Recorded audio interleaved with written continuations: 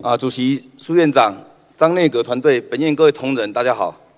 本席今天在此要再次呼吁，全民百业要建立共识，让台湾的观光产业能够再升级。台湾拼观光不能只是涂涂抹抹，必须要先洗脸再化妆，才能够彻底的美丽。我们政府在民国八十九年宣誓打造观光大国，在一百零四年又推动观光大国的行动方案，可惜我们的成效非常的令人难过。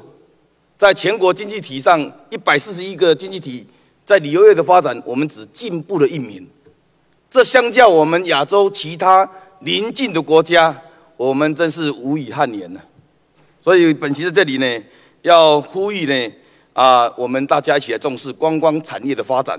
根据自由经济论坛指出呢，随着全球化的发展呢，观光业将成为世界上最大的产业，特别是亚洲地区呢，已经成为全国最活跃的一个旅游热点。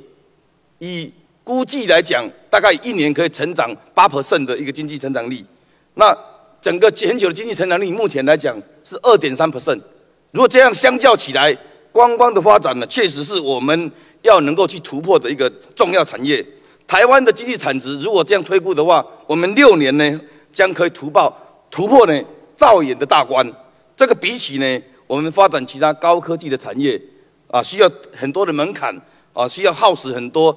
观光产业似乎是我们目前发展台湾经济的一个啊最好的机会。那但是呢，我们台湾的观光的这个组织呢，层级、预算以及这个法规呢，仍然停留在二十年前。所以在这样的一个架构、组织跟预算能力之下呢，无法有效来推动，所以竞争力当然低落。所以本席在这里呢，呼吁朝野共同支持。第一个，中央观光主管机关应该。